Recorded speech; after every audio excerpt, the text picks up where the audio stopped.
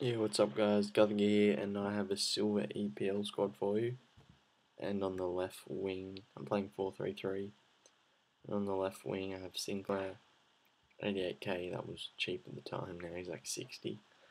And he has 4 star skills, now we have a Lita in my Swansea team, that's all I've ever used him in.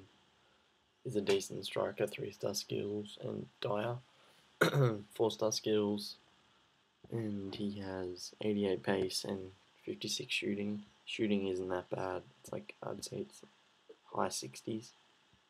Cleverley, for 28k like two weeks ago when you're still at 40, now he's dropped a heap. Heskey time. We got Heskey centre mid.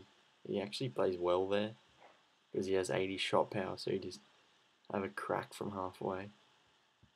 And we have Fabian Delph 35k. And we have Figueroa 5.7. Ferdinand 4.9. He's a brother of Manchester United one, if you didn't know that, a friend told me. And then Guartez. So it is. And then right back Carl Norton. And I'll be back in a minute. Uh, and then goalie we have Moyen Roya or Minoroya, something like that. And he has he has um he has decent stats for a silver I guess. Still he has fifty four speed. That's pretty good. And then at centre mid we have Bannan. I think I got him in a pack. No, that's not the one. And then Agustien from a Swansea team. Then we have Miyaichi from my Japanese squad, which I'll do in a minute, with a base 4 star skills.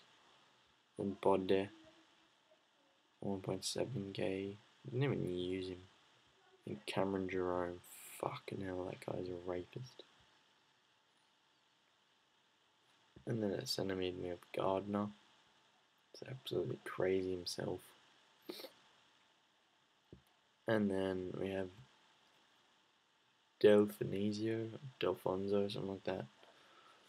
And um, he's actually crazy as well.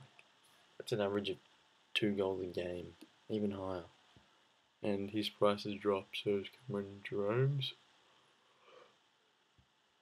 Um, yeah, he's no longer 70k, which is a pain.